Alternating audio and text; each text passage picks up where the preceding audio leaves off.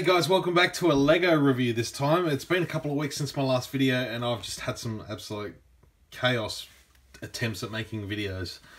Um, I was just having real, real issues so I decided to step away for a little bit and just calm down. so I'm trying it again today. Um, I hope you enjoyed the little time-lapse video I did at the start. I, when I put this together a couple of days ago, I thought it was a good idea and it came out a lot more, lot better than I thought it would. But anyway, today we're going to look at this set here, which you saw before. That's set 75152. It's the Imperial Hover Tank um, from Rogue One, based on the planet of Jedha. Comes with two hover tank pilots and Chirrut Imwe.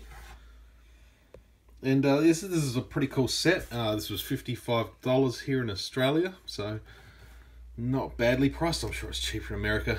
Um, I can't wait to buy Lego over there next year. it's so exciting. Anyway, um, instruction booklet is about 78 pages, so it's not too bad. I'll put it together in about, oh, I'd say about, I'd say it's about 40, 45 minutes. So, um, probably a little bit quicker than I normally would because I knew the uh, video was recording when I was putting it together. So, anyway, this is a cool set. I really do like this. Um, really great minifigures. I'm just going to move the weapon. And it's on the floor. There's the hover tank driver. I'm a real, I'm a big fan of this figure itself. The helmet's awesome. I can't wait to get the uh, Black Series figure of the uh, hover tank driver pilot. What do you want to call it? hopeless. It's Monday, guys. It's definitely Monday. I've had no shortage of droppages and spills of things all day today. But the uh, printing on this is absolutely awesome. I really like it a lot. To try and pick up the other one with my foot while I'm doing this. There we go, got him. Be a grey helmet.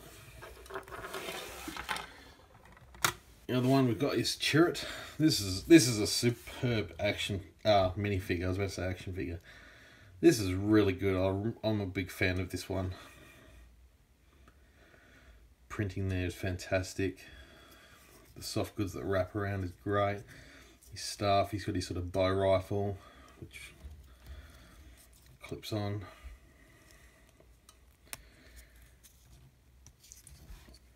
He's got his white eyes because he's blind. They look actually look really good. So he's got a slight smile there.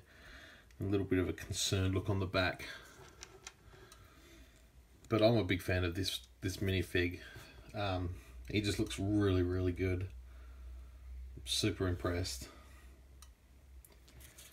I can't wait to see him in action in the movie. It's gonna be gonna be awesome. Anyway, here's the hover tank itself. Pretty cool design actually. Um, and the way they've built this is quite awesome. I can't wait to see a bit more of this. Um, like when we get a vehicle guide or something like that. Or just see it in action in the movie. But it's got some clear wheels on the bottom. So it gives that appearance of hovering. Which is quite nice.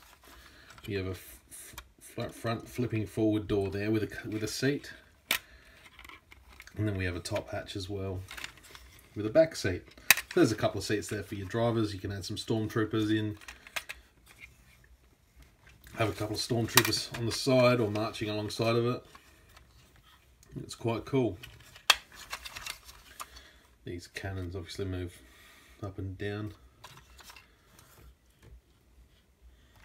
Oh, it's a quite nice looking bit. You've got a couple of hooks here so you can clip some extra weapons on. Um, it's got a couple of wheels there which activate the little flick missiles on the bottom. I don't no, I don't normally store these in there. I think they're a pain in the bum. I'm not a big fan of them. I just like to display them as is. So I'm probably going to switch these out eventually and pull them out. Just put some blank bricks in. Um, as opposed to the little flick missiles, but they're not hurting it for the main part at this stage. On the back, we've got a bit of a accessory here. So like a little weapons crate top pops off. There's some binoculars and a little pistol in there. Um, I think another one of these sitting on the back would look cool. So you got two sort of two spots there and the, with those black single bricks there. I think it would have looked, looked, looked nicer if there was a couple sitting on the back. I think it would have filled it up a little bit more. But overall, this is a pretty cool vehicle. Um, looks good. Troops look awesome standing on it. And uh, yeah, it's a good Lego set. Um, definitely recommend it. It's definitely the it's the cheapest one from the Rogue One sets at this stage from the first line anyway, from the first wave, I guess. Um, so definitely recommend getting this one because it's a good it's a good price. It's a nice little starter kit. Um, I'm hoping to get the ATST this week, um, which comes with Baze Malbus. So I'll try and do a similar video. And um, yeah, I definitely, this is the one I've been trying to review. Um, it's just my phone memory of, I think I've got it worked out where I can record and still have enough to do it without having to go and record two separate videos for a, for something that's less than 10 minutes. So anyway, that's that's a cool one. I'll save that one for another day.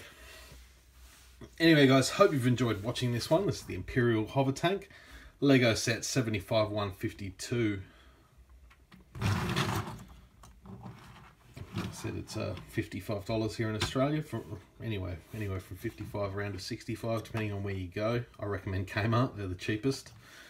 And uh, yeah hope you've enjoyed the review. Let me know what you think in the comments below. And until my next video guys may the force be with you